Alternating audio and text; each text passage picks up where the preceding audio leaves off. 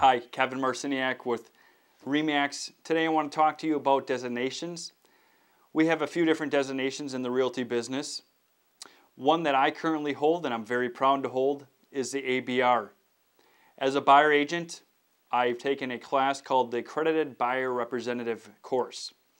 That designation I've earned and I'm very happy to say as a buyer agent, uh, it is actually more education that I've received and it teaches me how to work with you, the buyer, more efficiently in communication, using technology, the tools to ensure that we uh, communicate well and uh, get the deal done in, in, an allocated amount of time.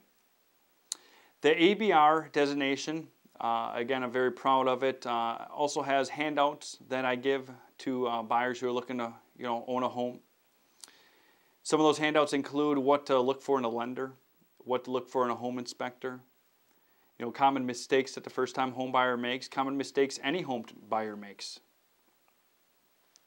This designation, again, allows me to work for you, the buyer. Being a buyer representative, I love that because I can speak freely to you. I can tell you what I see wrong, problems that are going to be in the long run, things that the average realtor just won't say to you. And I'd rather be upfront with it. I'm not here to make the quick deal. I'm here to be your realtor for life. If you have any other questions on designations and why they're important, um, please give me a call. 414-604-1384.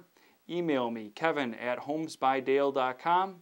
My contact information will be at the end of this. Have yourself a wonderful day. We'll be here uh, next time teaching you, the first time home buyer, the home buyer period, how to get a good deal. Thanks for watching.